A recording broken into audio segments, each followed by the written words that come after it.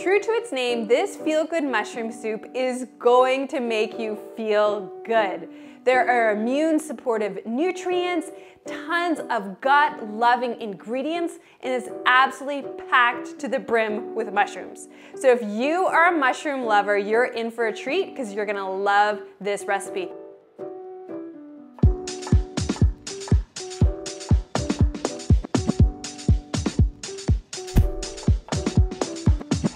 Okay, now for your mushrooms. I use maitake mushrooms, shiitake mushrooms, and cremini mushrooms. I recommend if you're used to just using white button mushrooms, time to give yourself a little push and get out of your white button mushroom house and try some different types of mushrooms.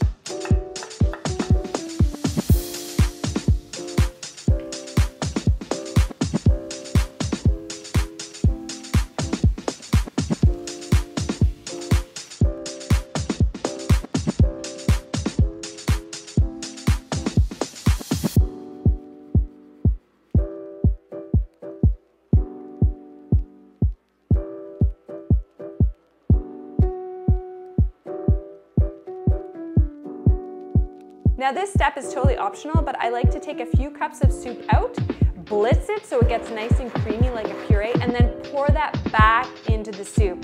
It's a really nice way to get some creaminess in there without actually adding any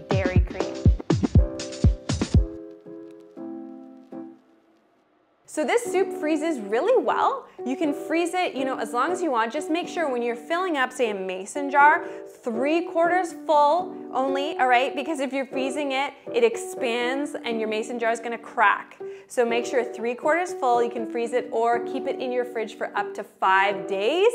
But you know what, it probably won't last that long because it's so delicious.